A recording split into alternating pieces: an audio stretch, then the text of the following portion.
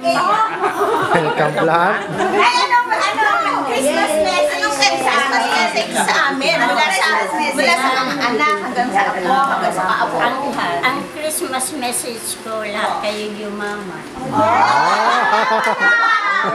Tumama sa loto.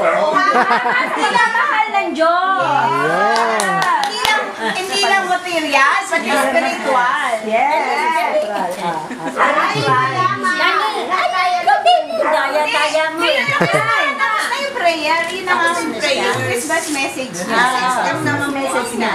Yan. Maraming maraming salamat po, Panginoong Kristo. Sa lahat ng mga biyayang pinagkaloob mo po sa amin.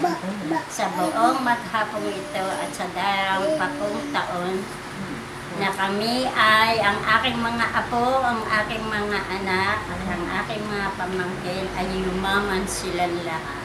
Sa pagmamahal. Sa pagmamahal kay Jesus. Yes. Hindi material. Amen.